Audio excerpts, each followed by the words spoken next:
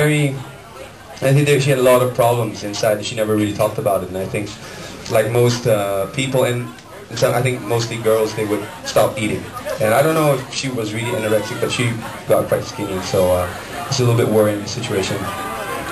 And uh, just simply trying to understand her and you know talking to her and listening to her problems, she gradually just snapped out of it and uh, and started eating again. And so that was a great experience. So showing how uh, just listening sometimes just being uh, just caring for someone can in fact change a person's life.